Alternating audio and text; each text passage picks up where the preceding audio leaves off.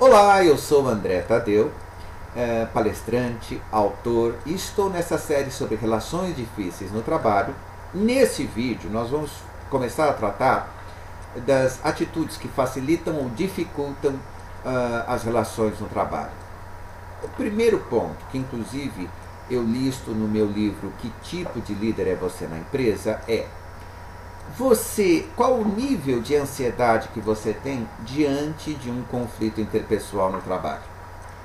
Tem pessoas que elas são muito competentes profissionalmente, não é?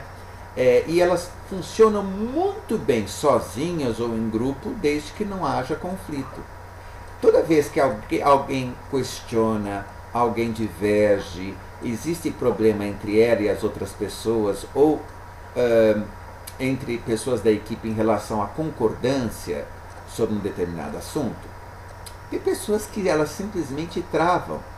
Ou elas ignoram, ou elas bloqueiam a percepção, ou elas não querem lidar com o assunto, ficam muito irritadas, muito ansiosas, excessivamente ansiosas. Ou seja, elas não querem tratar do assunto. Identificar qual o seu nível de ansiedade quando você detecta um conflito é o primordial. Né? Os conflitos podem ser positivos, podem ser de simples solução, mas o seu medo pode uh, aumentar a sua percepção de risco de lidar com o conflito. E olha, pensa bem, numa empresa moderna, cheia de competitividade, que exige tanto da, da, dos colaboradores e das equipes, conflito é inevitável e ele pode ser muito positivo desde que você aprenda a lidar com eles de uma maneira positiva. Vá lá, liste as razões para que você deva superar o seu medo.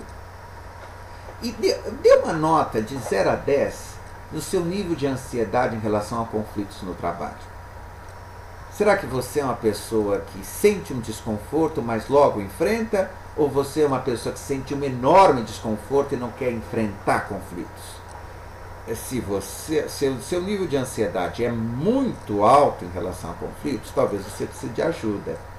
Talvez de um terapeuta, ou mesmo de um chefe, ou de uma pessoa que, que saiba lidar bem com conflitos, que te ajude a ter segurança para lidar com um conflito. Converse com um, um, um amigo, com um colega, com a sua chefia, se for o caso, para se preparar para lidar com os conflitos. Porque uh, você, preparado, pode tirar muito proveito da administração de conflitos e os conflitos, ao contrário de serem um problema, podem ser a solução para uma alta performance profissional.